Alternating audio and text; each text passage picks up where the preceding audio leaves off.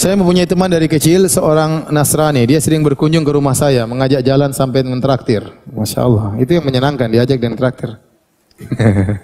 Sekarang Alhamdulillah semenjak saya berusaha untuk tetap sunnah, saya merasakan takut kepada Allah karena ada firman Allah, janganlah engkau jadikan orang kafir teman baikmu. Bagaimana saya harus menyikapinya? Apakah saya menolaknya datang ke rumah? Enggak, saya rasa tidak ada masalah. Dia datang aja sambil ngobrol.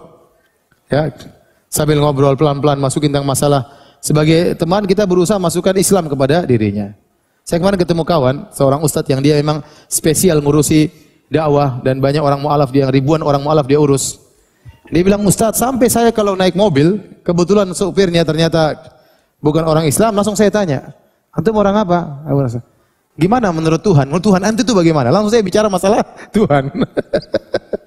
saya ingin dakwah dia. Dia ngomong begitu, saya debat langsung di situ. Itu saya bilang mana nomor teleponmu? Pokoknya saya kasih syubhat. Gimana cara dia? Maksudnya kasih ilmu supaya dia sadar. Ya, apalagi teman kita. Sebenarnya kita lebih ini aja baru ketemu dia berani ngomong langsung tentang masalah apa? Tuhan. Apalagi teman lama, sudah bicara aja nggak ada masalah. Pelan-pelan ya apa bagaimana kalau kita atau kasih buku-buku tentang Islam, cobalah kamu pelajari.